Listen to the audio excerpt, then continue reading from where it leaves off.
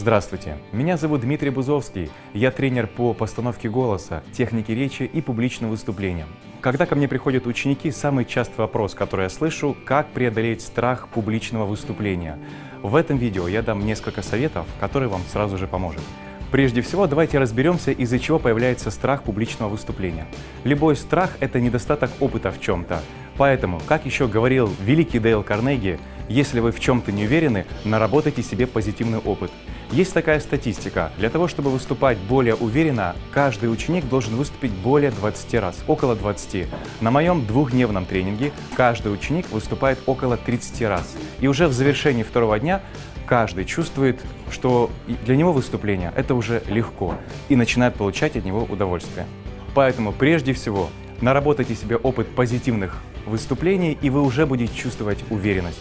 Уверенность в том, что вы можете выступать и можете это делать легко. Второе. Второе – это контроль тела. Вспомните, как ведет себя ваше тело, когда вы боитесь. Оно сковано, руки опущены.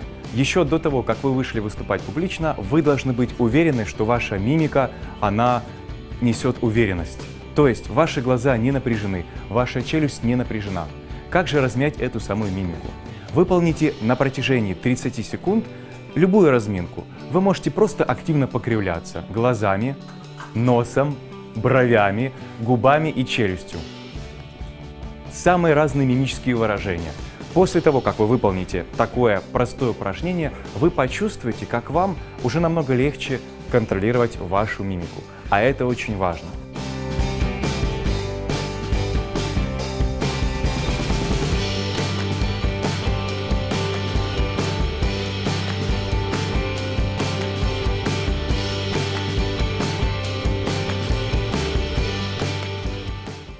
Если вы хотите в процессе публичного выступления чувствовать уверенность, начните проявлять уверенность всем телом.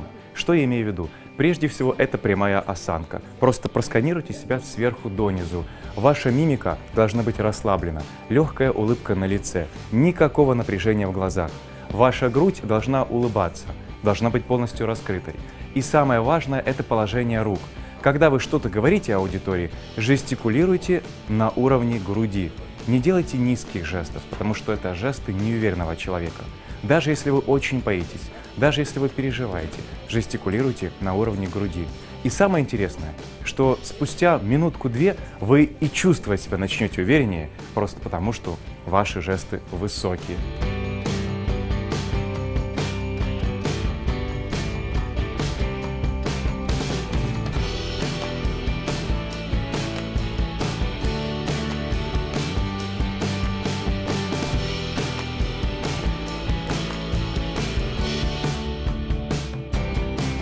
И еще один совет тем, кто боится выступать публично, это смена вектора внимания.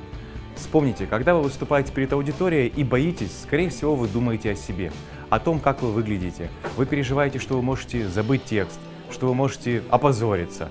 Постарайтесь сменить вектор внимания. Как это сделать? Как минимум, поддерживайте зрительный контакт с каждым вашей аудиторией. Не думайте о себе, а думайте о тех людях, которые сидят перед вами. Как только вы сможете сменить сместить этот вектор внимания, вы почувствуете уверенность и легкость. И более того, ваше выступление станет более энергичным. И в завершении, если никакой вам метод не поможет, если в процессе выступления вы все равно чувствуете, что вы боитесь, по крайней мере, контролируйте свое тело. Как можно чаще говорите себе «я в себе уверен», даже в процессе выступления.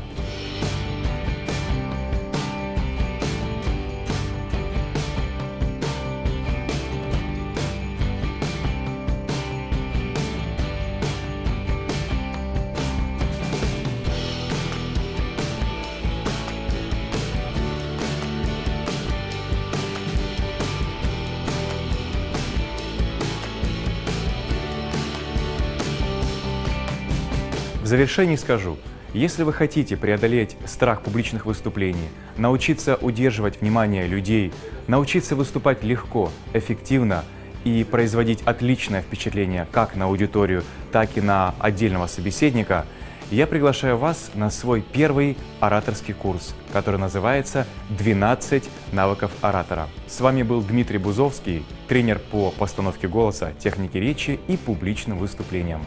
До новых встреч!